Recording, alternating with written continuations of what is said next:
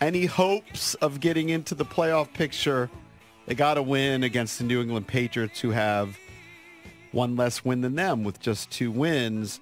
That puts some pressure on Ron Rivera, of course, traded away Chase Young and Montez Sweat this week. Well, Ron Rivera is on the hot seat. He's been on the hot seat all season long. Yeah. And if you look at the odds of the coaches currently on the hot seat, mm-hmm. Is he atop the list? he's atop the list. And maybe that's why we should update our tea time tracker. Very good. Um, look, if you look at different sites, they're going to have maybe different orders, but he's he's on top of most lists. Um, this one is via Sportsline. Ron Rivera's plus 200 on the next head coach who will be fired. After him, it's Matt Eberflus with the Bears, plus 300. Matt LaFleur, plus 700 with the Packers. Brandon Staley, plus 900 with the Chargers. And then you go down the list, guys like Todd Bowles, Dennis Allen, and Mike Vrabel, who lost last night. Um, I said this earlier in the week. I believe it's not a strong belief, but I believe he will not last this season. Which I I think think, week- most of us thought he was going to last season. I think he will be fired during the season. I'm going to pick the Patriots to win this week, and I'm going to pick the Seahawks to win next week, mm-hmm. and then I think he will be canned. I think this week's big. I really do. I mean, if they lose this week to a bad offense that scored, you know, they they can they struggle to score two touchdowns in a game, then it's it's going to ramp up big time. Now, if they win and they're four and five and they're still in the mix for a playoff spot, then that Seattle game is obviously going to be huge. But yeah, I would say if they lose Sunday and then they lose the Seattle game, that would have been what's that seven of eight?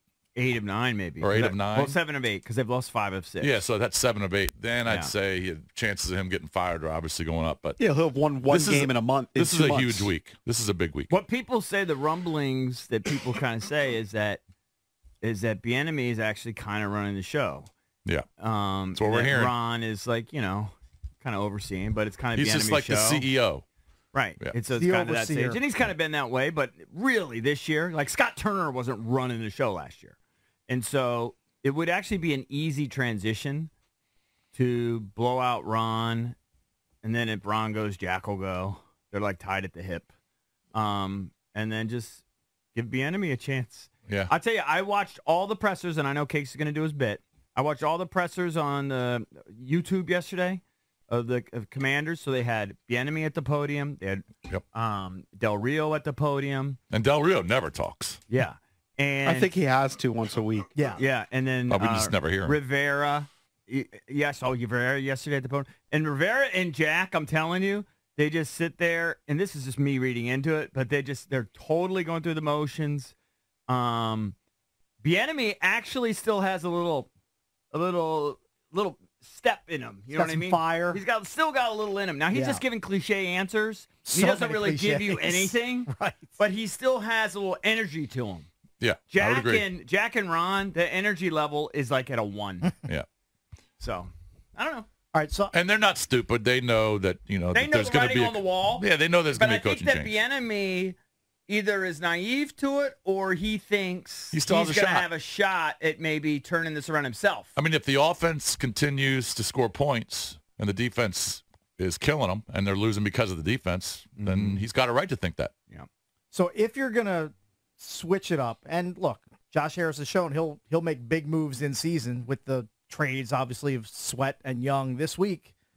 If you're gonna pull the plug on Ron, I think his new his tea time would then be on December fourth. And let me guess, that's the bye week. It's heading into the bye week Yeah. and could potentially be after embarrassing losses on national TV Thanksgiving weekend Right. against the Cowboys, and then they have a home date the day before this, December third, with the Dolphins in town. Right. Do you there's dismiss? That's way your they- personal tea time tracker No, this because is this is what like this is a, a good spot for Josh Harris to do it. this it. is when he All right. thinks it'll happen, not 'Cause when then- he would do it. I know because because it would have already happened. If, oh yeah, if both I of us would have doing it. whacked him. I would have whacked him in the offseason. So this would give Bieniemy, if they gave him, you know, the reins, a four a four game full on audition at the end of the season. By the way, when the Raiders blew out McDaniels, yeah, He has four years left on his contract. I mean, that's beautiful. And they're That's still paying deal. Gruden. lovely. I mean, think Yeah. about that. I mean, what is Mark Davis and his band of idiots doing out in the desert? Like, what Well, I mean, the the worst move was hiring him in the first place. horrible hire by Yeah. Mark Davis and company. But yeah, man, this, these guys just don't care. They just stroke checks, Yeah, big time checks. unbelievable. I mean, how much is he? Does he have coming in over the next four years? Got to be like twenty five million or so, Probably- right? Probably, probably. six million a Probably year. something in that neighborhood. Yeah. Yeah. Wow. Can you imagine? that was the greatest thing ever happened to him. I just don't think you have to wait for the bye. Do you what do you dismiss? I think JP's got a good scenario. I actually think they're going to win this week. But if JP's scenario plays out and they lose to the Patriots, then the you know who knows? They lose the Patriots, they'll probably put up some fight It against could the happen, Seahawks. but- But if they lose two in a row and having lost seven of 8 Mm-hmm. you think that Josh is just going to let it keep going? I just don't think he's a rash guy. I think he's willing to let. Is that he- rash? I, I think he knows. I don't think it's trash. he knows it's a lost season. So like, what? it- What does it? What does two weeks difference make? If, if he lops, his I think he off, can get fired this week if they lose to the Patriots. Like, I, Hmm. I mean, we don't know. None of us can go inside Josh Harris's head. I'm just speculating, like the rest of us. Um, seems like the conventional wisdom is they're going to give Ron the whole season. I'm going to say they're not going to, and some of it might be a PR move, right? He's done things which the fans have supported, including the fans by and large like the Chase Young and Montez Sweat deals. Mm-hmm. Like, get him out of here. Defense stinks. Get him out of here. Get something for, And he for these knows guys. the fans are out on Ron. right. Yeah. And so in a couple Like- weeks, All right, go ahead and call in right now and defend Ron. No, We're you gonna won't. open, open up the line. you won't can't. find anybody. Open up the line. They'll look just like they look right now. Defend Ron. Defend Fenron or Del Rio. You He found find. Heinicke. Okay, no, you can find point. You could find certain things, but like, se- tell us why Ron should be here this year and next. Why he should This live year? out his contract. Oh, it's a. I already. I said this to Cakes. It's a thank you for your service. We're not going to embarrass you, Right. Because you were the you were the face of all of the scandal. You had to go eat the S sandwich uh, because Dan was on his yacht. So this is your golden parachute. We're not going to embarrass you. Thank you for your service that you did uh, with with the He team. helped can see that being a thing. He brought in his trainer from Carolina with all his uh, illicit yeah, drugs. but that that was minor. Compared That's to minor all, all compared the to what Snyder Dan- circus that was going yeah, around. Ron, Yeah, Ron had to deal Okay. with that circus. That's an So, so afterthought. basically, you're just throwing him a bone. You don't embarrass him. Thank Yeah. you for your service. I, I just want to say this: Cakes keeps bringing up the bye week, and and that does happen. But the Raiders didn't wait for a bye week. No. Like you, if if You're you're, right. done with the Well, guy they and you're also- the- embarrassed, The Raiders are also crazy. Mark Davis off the Al Davis tree. Like the, Okay. different brand of ownership there. in same Vegas. record as the Commanders, Yeah, three and five. I think JP's point is they don't always wait till a bye week to No. fire somebody. Right. Oh. Yeah, but I- like, I- but but if you're Josh Harris, why wouldn't you? If you're going to do it, why wouldn't you have done it already? Like, you know, you're not going to retain him. You're not seeing anything special from Well, him. Well, because you do give him a chance to um, Yeah. go on a run. You do give him a I think they're giving him a chance. still relevant. I, I think that Josh Harris, again, none of us know. I think Josh Harris probably was giving Ron Rivera a chance if he gets the team to the playoffs, if they're selling out games, if there's buzz in town. He'd, I think he'd if bring you're him gonna back. if you're gonna fire him mid-season, it would be after this week uh, if they lose to the Right. Patriots, because that would essentially be three bad, really bad teams you lose to. If he if they Well, lose the this Eagles week, game, but three total. Sorry, Not the Eagles game, he's not three in a about row. you were Bears, saying three Giants, no, total. I'm saying yeah. Bears, Giants, and then now yes. the Pats. Yes. So if if he loses to the Patriots, I could see him doing it after the Patriots game, before the Seattle game. If he, but if he doesn't, I, I think he lasts the season. Shouldn't he If you're, though? if you're not going to fire him after he, the Let me ask you Patriots, maybe he's an owner though that actually likes to embrace the tank because of what he did in Philly. Maybe. And so know. he's like, you know what, Ron stinks. Right. And the we'll, we'll keep losing. Yeah, Yeah, but he doesn't good, mind fine. improving draft position. Yeah. But- you might You be right. like letting him twist in the wind. Shouldn't he Shouldn't he? What? pull the plug on Ron Rivera? A thousand times. Yeah. If they lose to the Patriots, fire him already. Give Eric Bieniemy a chance, or whoever else you want to try as I an think it interim depends coach. on. How, I, I think it depends Well, there would the be nobody optics, else. That's too. enough of a body of work. Three and a half seasons to determine he's not the guy. think- We already know. We all know he's not But the JP, guy. the only guy that, that that would take over would be Bieniemy. There's nobody else on that staff that would take over as head co- interim. I don't know I don't that think- anybody expected Antonio Pierce to take over. Well, I don't the know. Who, linebackers coach. I don't know who else they have, and Bieniemy's the biggest name they have. it would be Bieniemy, I would think.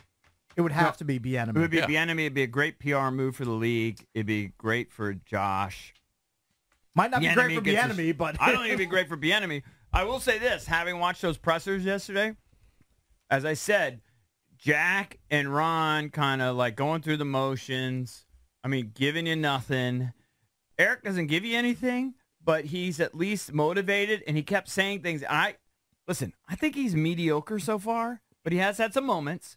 But I will say he does motivate you because he's like, he, he kept saying, "I promise you, we will get better." Mm. I prom, like you know what I mean. And I'm just watching that, going, "Okay, I'm in. I, I believe you."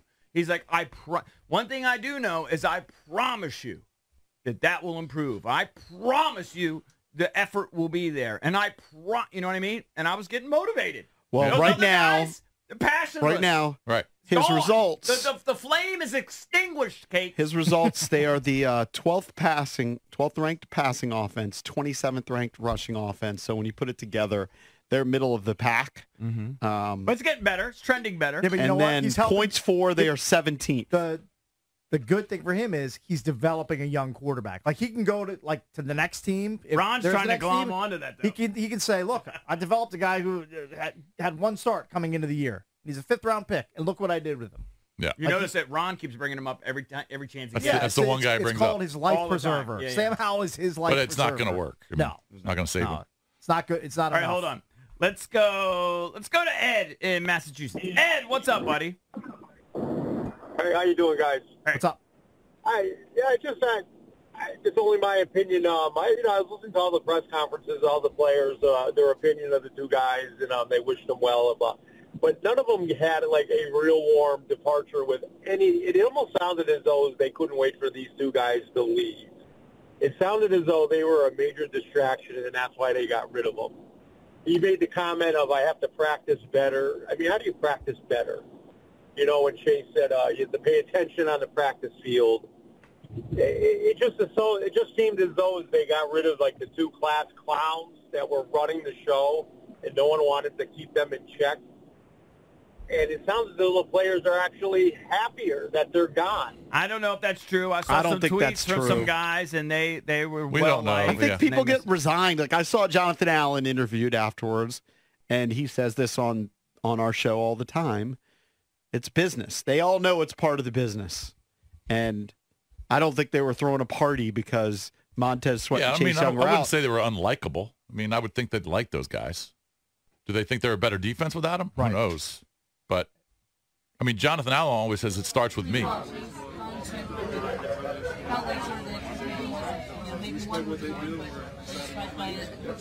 Again, there's really few, very few things that surprise me in the NFL. I understand it's a business, and you know, I wish them luck in the, the rest of their career. And you know, He Wow. doesn't seem that vexed by Pretty it and, and moved by them being out of the locker room. Did you see, by the way, did you his- see the video uh, viral of James Harden going into Yes. the locker room for With the first Westbrook. time? And the one They dude, didn't look Terrence Mann, like Westbrook kind of dapped him up. Mm-hmm. Yeah, but it was And says- pretty. It was pretty mild But- considering their background. Terrence Mann, like James Harden, walks into the locker room for the first time, and he literally did not. He, he moved his eyeballs, but he uh, didn't move. He didn't say He's what's non- up. Are non- Nothing. these Plus guys by just all like too cool? Like, is that part of it? I, I don't know. I, I, I saw that and I saw Russ and Russ was mildly excited to see him. I would say mildly. Right. And those Yeah, guys I have mean- a long history. Yeah, I, don't think know. you. Well, I mean, they see each other all the time too. Um, Yeah, but it's different now. You're on the you're on the same team again. I don't know. it's wild. and when it comes to Jonathan Allen and the rest of the team, I think look they they kind of expected it. These guys were fielding questions about it last week. We asked Jonathan Allen on Monday.